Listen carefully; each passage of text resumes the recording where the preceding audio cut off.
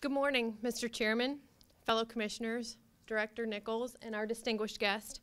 I am Amy Crawford, North Area Engineer for the Northeast District, and I'm here this morning to introduce to you Mrs. Andrea Andy Jackson.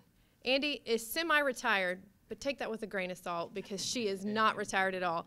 Um, following a 20-year career with AT Still University, she and her husband Bob have owned and operated a farm for 45 years in southern Adair County near La Plata, to which they added an agritourism business in 2008. She is very active in her local and statewide boards, including serving as the chair of Missouri Farm Bureau's Ag Tourism Committee. Andy is here today to present to you the concerns of maintaining the pavements on our supplementary system and the importance of these routes to the agricultural industry and to the small communities located in these areas. Please welcome with me Miss Andy Jackson.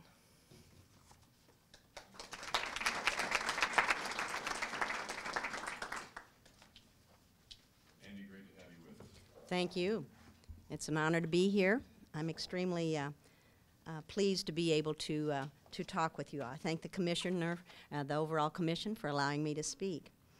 So today, I invite you to bring your mind and come with me and sit in my 1996 Dodge Dually truck. We're going to sit on a beautiful harvest fall day in October and we're parked at the intersection of Mercury Avenue, County Road, and 156 East, east of La Plata. Feature yourselves there. We're just watching the traffic, and these are some of the vehicles that you and I are going to see traveling on this supplemental road, 156. Here comes Drew Locke.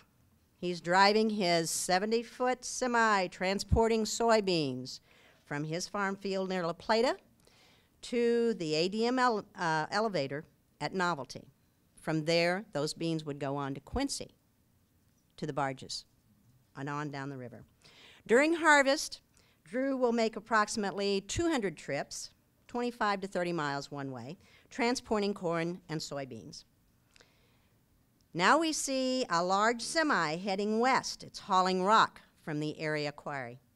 This particular rock truck may make mm, 8 to 10 trips a day to and from the quarry because it's transporting rock to be spread on one of the many uh, county gravel roads in our area. So both drivers are going to use a great deal of caution as they meet because there's no shoulders on this 156 and they share the road. Soon we see a gooseneck trailer.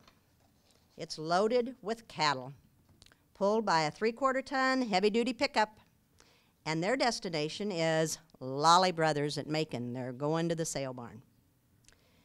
Here comes two loaded MFA feed trucks. They're headed east to deliver supplies to a local swine operation.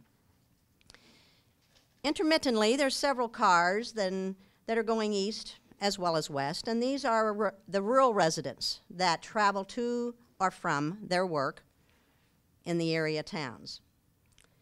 Soon we see a potload of 300 pound dairy calves that have been fed by the Amish family. These calves are being transported to an out of state feedlot. And pretty soon, we see that Amish horse and buggy. Mr. and Mrs. Bontrager, they're going down the road. They're going to La Plata to the local C&R, and they're going to get their groceries, and they're going to the La Plata lumberyard for supplies. We also see a 10 wheeler transporting feed from the Chin feed mill that's located at Clarence, and they're taking their feed to a swine facility that's east of La Plata. Here comes Doug Thomas. He's taken a semi load of corn to Macon to the ethanol plant. He's filling a contract. And look, oh my gosh, there's Doug Clarkson, and he's got his combine, and he's followed by a pickup truck that's pulling a trailer, and it's got his bean head on the back of it. He's moving from farm to farm during this harvest season. He's using our supplemental highway. So we're sitting in the truck, you and I, and we are talking, and I'm explaining to you that you're frequently going to see tractors and tillage machinery and grain buggies and agricultural equipment. They all travel this road. They're moving from farm to farm as the production of row crops is a vital part of our community. As we're sitting in my truck, I explained to you that in the spring, you would see the seasonal fertilizer carts and the tank wagons that are, that are transporting anhydrous ammonia. And those are going from the supply depots to the fields. So you and I continue to observe this flow of our rural citizens traveling to work and home. We also see a school bus delivering our students home from the area schools. We see those teenage drivers that are returning home after ball practice. And we also see some bicyclists that, uh, that enjoy the, the scenic routes of our supplemental road system. So we're having this conversation, and you and I discuss our concerns of safety and the need for shoulders on the supplemental road system. So as we sit and observe this traffic for a short period of time on this sunny fall afternoon, hopefully you all will see and have a clear picture of real people and the important role that these roads play in our agricultural industry and in the lives of the people who live in our rural areas. So now I have some messages from some of our elected officials that I would like to share with you. Our Adair County Commissioners, Kirksville is the county seat. Adair County Commissioners Mark Thompson, Stan Pickens, Carson Adams, they asked me to express their concern to the Commission that as you deal with challenges of funding the maintenance of these secondary roads, that they suggest that the responsibility of maintenance of these supplementary, supplementary roads remain with the Missouri Department of Transportation and should not be passed on to the local county level, as of course the county funds are limited. The county funds are used to provide rock for the county rock roads and bridge repair and maintenance.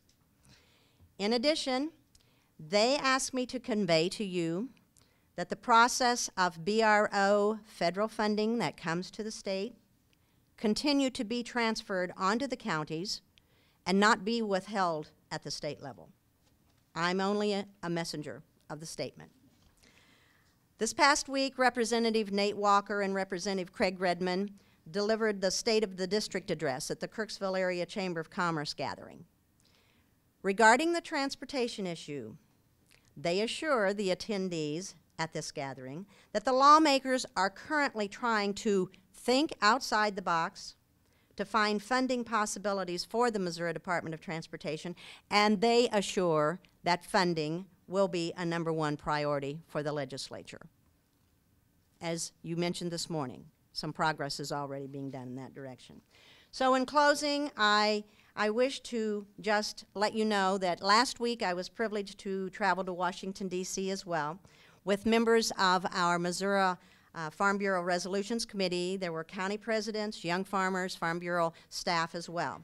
We had wonderful meetings. We had meetings and meaningful discussions of agricultural issues with Congressman Mike Conaway of Texas, uh, Senator Marco Rubio of Florida, Congressman Collin Peterson of Minnesota, and of course our own Senator Roy Blunt. In addition, we had a wonderful breakfast, breakfast meeting with six of our uh, Missouri congressional representatives. Our own 6th District Congressman, Sam Graves, serves on the House Committee on Transportation and Infrastructure, and he's chairman of the, of the House side, House Subcommittee on Highways and Transit.